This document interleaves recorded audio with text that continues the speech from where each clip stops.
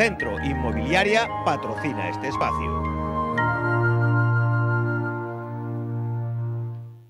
Hola, ¿qué tal? Tras una breve recuperación de la situación anticiclónica en el martes, la jornada del miércoles estará marcada por la llegada de un nuevo frente. Así, en la ciudad de Vigo tendremos cielos cubiertos desde primeras horas de la mañana y precipitaciones. Por la mañana, estas lluvias serán de carácter más continuo y por la tarde serán en forma de chubascos, alternando esas nubes y esos claros con esos momentos en los que lloverá. En cuanto a los vientos, serán del noroeste, flojos en el interior y ya por la tarde tenderán a aumentar de intensidad debido a que la el frente será más intenso a medida que vayan pasando las horas. En cuanto a las temperaturas, las máximas tienden a descender y las mínimas se recuperarán, aunque ligeramente. Así en Vigo esperamos esa máxima de 13 grados, al igual que en Pontevedra o Villagarcía, también en Cangas y en San Seixo esperamos esa máxima de 13 grados y las mínimas, como les decimos, ligera recuperación con esa mínima de 9 grados en Vigo, 10 de mínima que habrá en Bayona, 10 en Villagarcía, ambiente más fresco en Estrada con 8 grados y 7 de mínima que tendrán en la